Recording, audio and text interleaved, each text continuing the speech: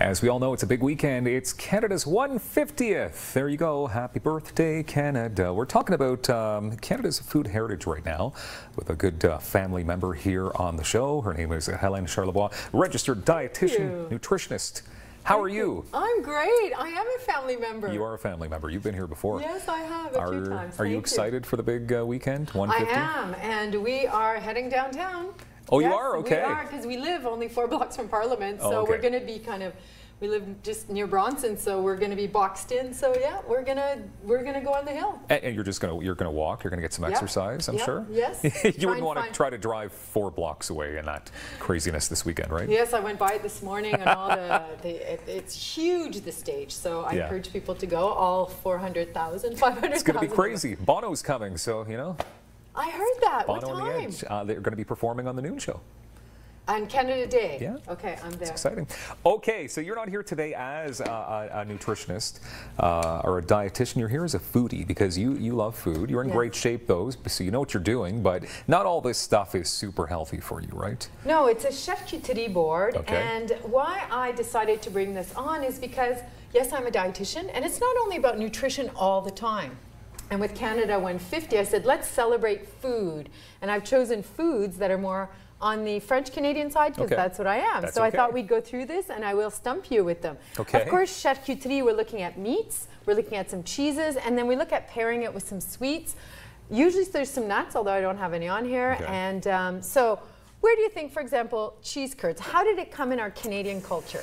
Uh, you, you know, I'm going to guess it has something to do with with the creation of uh, milk, and obviously because there's milk in there. But like they were creating cheese, maybe it fermented too long, or even if that's the word, and it just sort of looked like oh, that doesn't look right. But then let's try it out. Tasty times. It was exactly. So is it? does that mean is it? it I was a even close? surplus, a surplus of milk in the 1950s, and then all of a sudden they said, "Let's make some cheese with this surplus," and then this was a byproduct. Okay. So you are right. They just said, "Oh, and let's taste it," and Yeah. it tasted really good, and Yeah. then it got on poutine somehow. Yeah, that's a whole other creation, right? And remember, they have to squeak in your teeth. They then do. you know it's freshness. Okay. So then everybody can try them when we're done here, Of and then they can see if they lovely squeeze. volunteers. Yes. And then over here we have some Oka cheese, and this is from Oka, Quebec, which Okay. is just not you know an hour drive from here. Yeah. And it was the Roman Catholic monks wanted to raise funds for the monastery, and they made this cheese back. I don't know the date on that exactly, but a long time ago.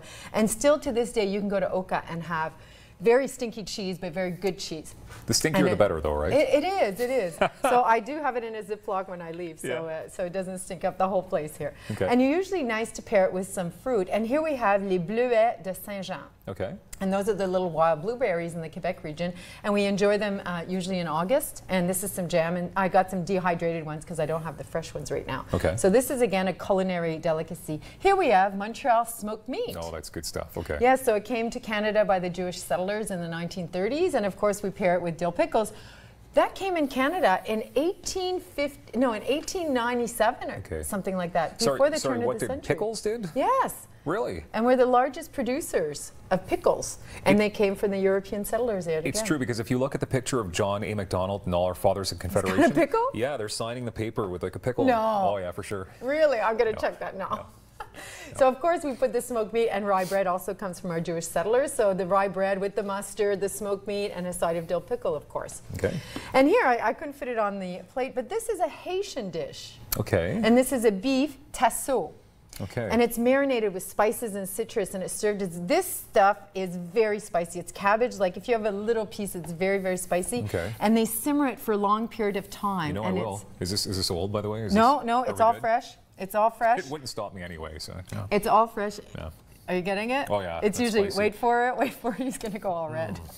Isn't it Oh, spicy? I was yeah, quite for that. surprised at that. Um, Yeah. I got this in a little shop in Vanier, a great Haitian restaurant. So this is part of a. It's a beef that has been marinated a long time. Okay. Then we'll get into some more some charcuterie, French Canadian to my heart, Mm-hmm. and uh, I make French um, fresh cretons. Okay. Now you simmer pork, and I did make these, and then I haven't spiced them up yet, but it's uh, cloves, a little bit of cinnamon, and some allspice, lots of garlic, lots of onions, and it's a spreadable meat, and it's just delicious. So.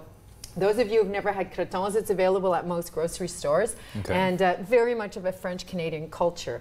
And then over here we have pâté de foie gras.